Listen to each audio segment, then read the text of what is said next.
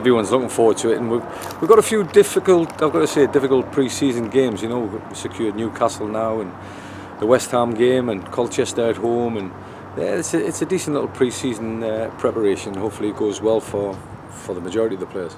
Start of that pre-season preparation starts on Saturday against Great Wakering Rovers, and that'll Yeah. be a good chance to test yourselves. Yeah, Great Waken's always the curtain raiser for us, and uh, you know they always put a good uh, a good show on. Uh, they put a decent side out. Uh, we're at a stage probably by the end of this week where most of the players will be ready for 45 minutes work.